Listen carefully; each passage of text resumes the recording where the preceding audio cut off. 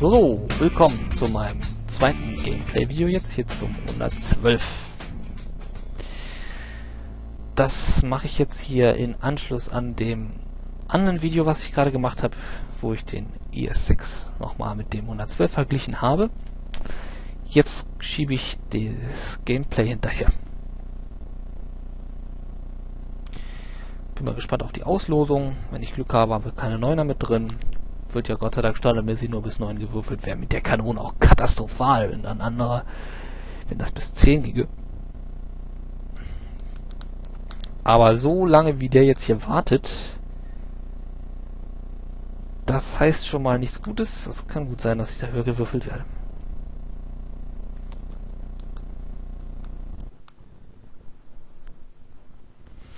Na, es geht.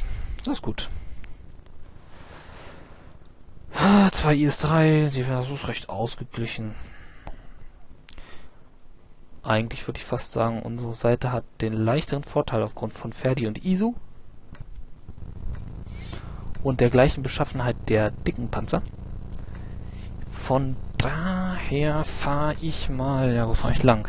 Also, die Heavys fahren sowieso auf beiden Seiten lang. Also ich werde mal links fahren da hat man noch die höheren Rückzugsmöglichkeiten. Wenn man rechts fährt, ist man ja öfter mal aufgeschmissen aufgrund dessen, dass es da so wenig Deckung gibt. Los geht's! Fühle mich auch persönlich hier auf der Seite etwas wohler. Ist natürlich jetzt auch immer die Frage, wo die alle lang fahren. Ja gut, die meisten fahren irgendwie durch die Mitte. Äh, super, fährt keiner rechts lang.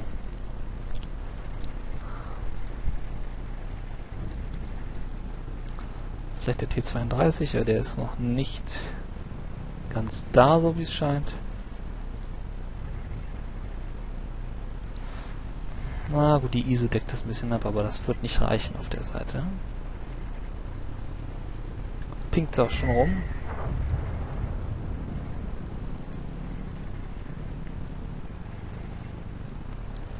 Tja, wir versuchen erstmal unser Glück auf der Seite. Wir müssten das ja eigentlich ganz gut machen, ja, aber wir müssten wahrscheinlich auch auf IS-3 und T-34 treffen. Würde mich wundern, wenn nicht. Die könnten natürlich auch auf der anderen Seite lang fahren.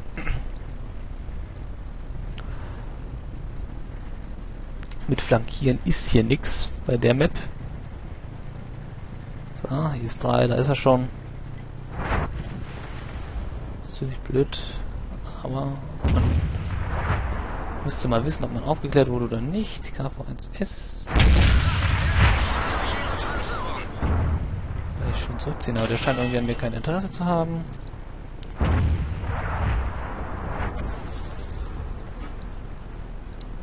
Ah, deshalb.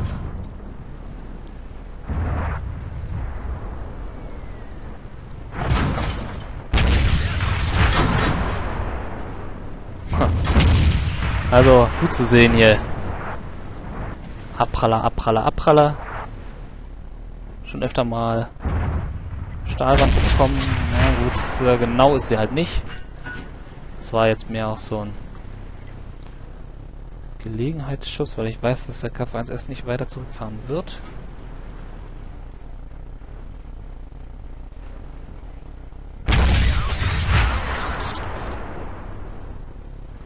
So, wieso steht jetzt unten keiner? Ach, das ist doch ja nicht, ey.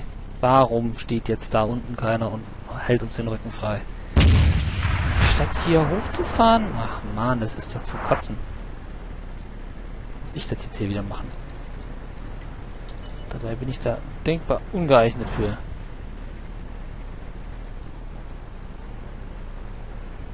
Steht da bestimmt der T34. Da.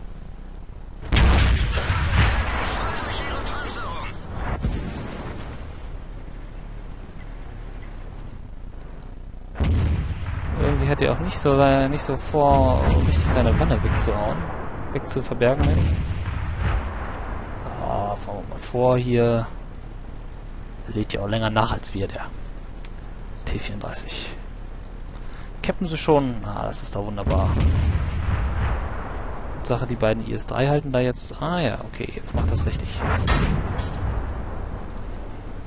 Ah, wieder nur den Turm getroffen. Und gleich ist er weg. Genau. Kommen wir jetzt mal von hinten an die beiden anderen ran.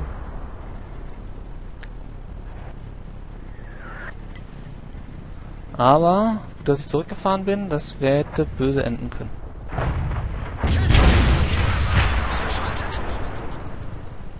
Oh, gut, KVSS war jetzt nicht der herausfordernde Gegner.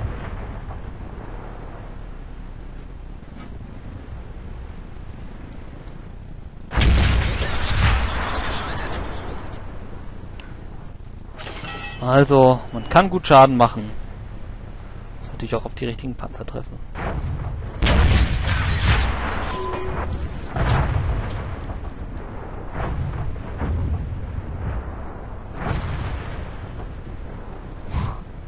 Geht ab wie Schmitz Katze hier. Ah, aber die Kette haben wir abgeschossen, denke ich mal. Dann die Kette ist... Sag mal. Also so viel müsstet ihr da hinten ja wohl noch hinbekommen. Also die jetzt.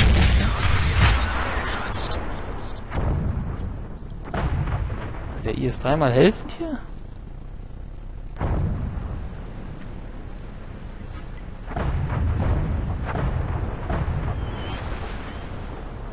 Ah, gut, das hat sich jetzt erledigt. So, und wenn Fraps mal der Meinung ist... Ach nee, das war nicht Fraps, das war die Taste, die da geklemmt hat.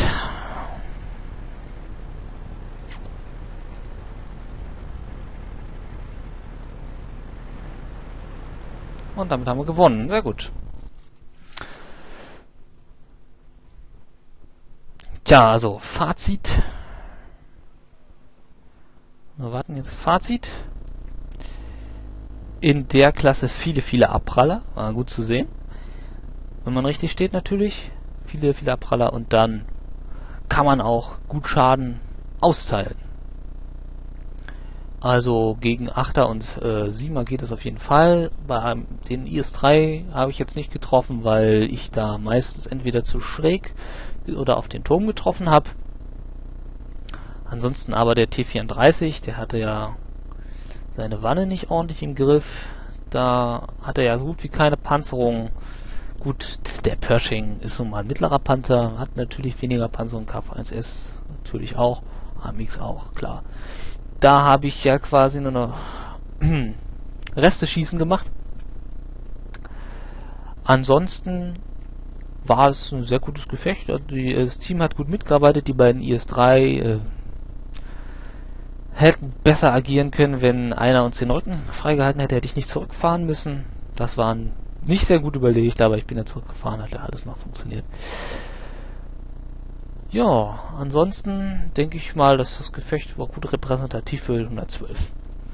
Also wenn ihr so fahrt, dann habt ihr auch keine Schwierigkeiten. Das war jetzt natürlich auch eine sehr gute Losung. Aber so sehen die meisten Gefechte aus. Neuner werdet ihr höchstens in 40% der, Gefälle, äh, der Fälle mal drin haben. Meistens fahrt ihr so bei den 8ern und 7ern mit und da habt ihr dann äh, eigentlich nicht weiter größere Probleme, wenn ihr auch da lang fahrt, wo ihr die Siemer vermutet. Nicht unbedingt da lang fahren, wo die gegnerischen schweren Heavies von den Achtern lang kommen, sondern auch mal da lang, wo die Mets lang fahren oder so. Weil als 112 habt ihr nun mal wenig Durchschlag und dann müsst ihr zusehen, wo ihr bleibt. Frontal könnt ihr wirklich nur dann was ausrichten, wenn ihr wie hier von zwei starken Fahrzeugen begleitet werdet. Jetzt hier wie die beiden IS-3, die sich da um die anderen beiden IS-3 gekümmert haben, konnte ich dann von hinten gut rumfahren. Verstärkung kam von hinten ja auch noch, nachdem die andersrum gekippt hatten. Also das hat ganz gut funktioniert. So, ich werde dann in nächster Zeit vielleicht, vielleicht nochmal blicken lassen. Bis dahin wünsche ich euch auf jeden Fall viel Erfolg auf dem Schlachtfeld. Postet was in die Kommentare, wenn ihr wollt. Ist mir immer ganz lieb, so ein paar Anregungen, Kritiken. Auf jeden Fall bis dahin erstmal viel Spaß. Bis bald.